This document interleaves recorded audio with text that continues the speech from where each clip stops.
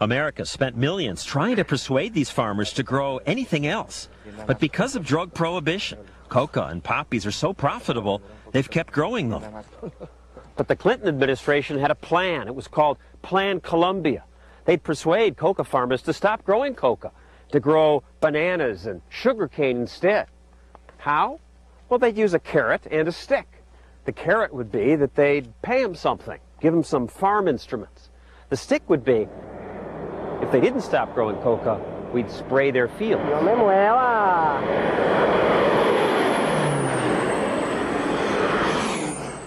And we are spraying them with herbicide that kills the coca and many other plants too. The peasants have come to hate the planes. Primeramente los helicópteros. Ya, ya los First of all, it was the helicópteros helicopters. vuelta por ahí. Cuando de pronto pasaron la- Then it was the primera airplanes. pasó por ahí así. Everything around us was wet. Otro así, Eso lo cogieron así, cruzado. Sí, de, de un lado al otro. Two days after that, the leaves started to fall off the plants. digo, como un polvo, algo así.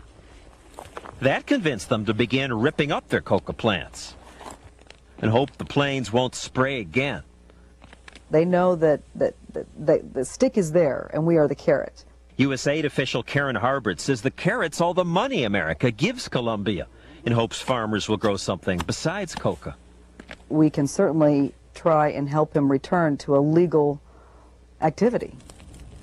But will they? Whenever a farmer does this, it just makes coca more valuable to those who do grow it. It's the problem of, of prohibition economics. When you try to constrict supply, then that drives up the prices and the profits, and that lures more poor farmers into this economy. Sanho Tree works for a Washington group that opposes the drug war. So we're talking about farmers who really have nothing left to lose. This is not a moral failing on their part. They're, they're really up against the wall. And growing coca means the difference between being poor or starvation. And they're not going to watch their children starve. Even if they did obey the Americans and grew bananas or pineapples, how would they sell them? The road we took into the coca fields was one of the jungle's best. Most of the area is accessible only by mule or foot. The farmers can carry coca paste this way, but it's not practical to carry the bananas and pineapples we want them to grow. Coca is the only thing that provides what we need to support our families. So we will spray them again until they understand. Rand Beers, Undersecretary of State, says America is not going to sit back and let farmers grow coca, no matter how poor they are. An illegal activity is an illegal activity, and one doesn't get a special pass for being poor. They have to recognize that every effort to grow coca will be challenged by the government. Every work effort, every dollar, every pound of sweat that goes in to growing that coca may be lost. Even if the spraying isn't killing all the coca, it at least reduces the amount that flows to America. Actually, good? actually, it doesn't. The more money we have put into this program, the more we spray, the more coca there is. What we've been doing with our drug war is, is like squeezing a balloon. You squeeze one end, it pops out the other. And the Bush administration now admits that after the spraying, the amount of coca under cultivation increased. Increased by 25% last year, says the CIA. Now, these people just go further into the Amazon, they cut down more rainforest, and they plant more coca. And meanwhile, we're chasing them with our spray planes.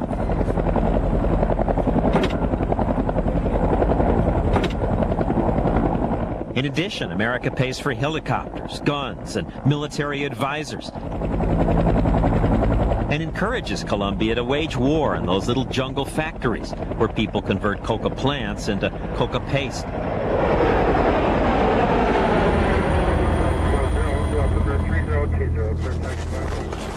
The police destroy the paste and the chemicals, and then they pour gasoline on everything Ok, listo, fuera. And toss a grenade in to burn the shack down.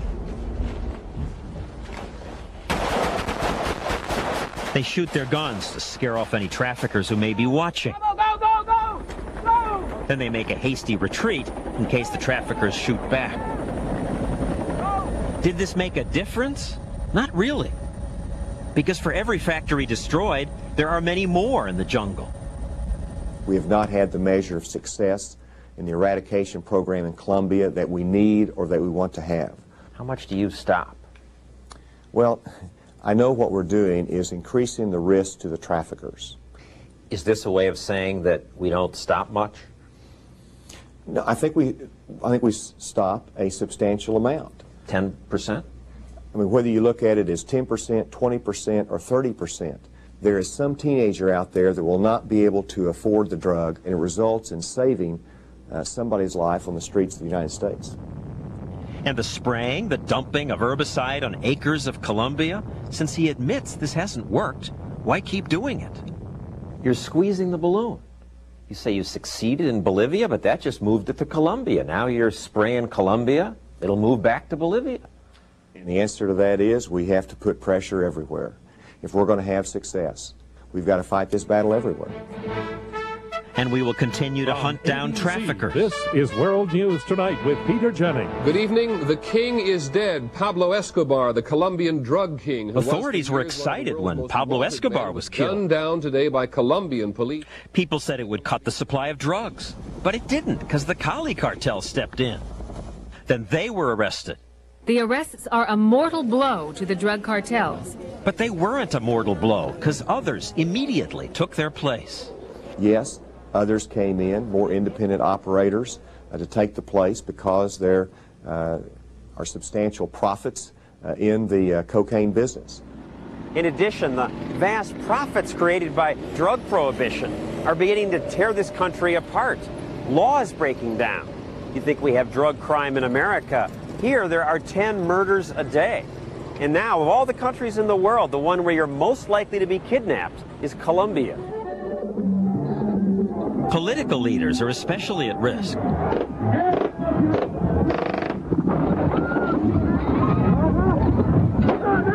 Here, a presidential candidate is gunned down by drug traffickers at a political rally. And there have already been 15 attempts on the life of Colombia's next president, here surrounded by his bodyguards. He decided to leave the country. He's staying in Europe until his inauguration next month. Colombia today is besieged by warring factions, heavily armed warring factions. This group, the FARC's the biggest. They've been fighting the government for years, and now they videotape their battles. That's what this is. And now the fight, which was once about politics, is mostly about drugs, because the money's so huge. The United States has declared the FARC a narco-terrorist group. But our spraying, our war on drugs, is winning the FARC new friends. We are providing optimal conditions for these armed groups to, to recruit. Once their farms get destroyed, they have nowhere else to turn. So they're associating the United States with death and destruction. And this is not a way to win hearts and minds. We'll come back to America in a moment. Next. I'm an attorney. I pay my taxes. I live a good, clean life. And if I feel like smoking a joint when I feel like it, that's my business. When we come back.